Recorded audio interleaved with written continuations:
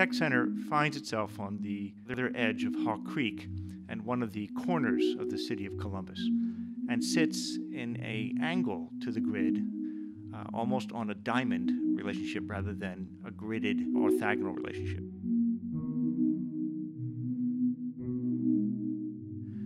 The grid of the building, seen outside, is reflected also very beautifully inside to its ceiling, especially in the lobby.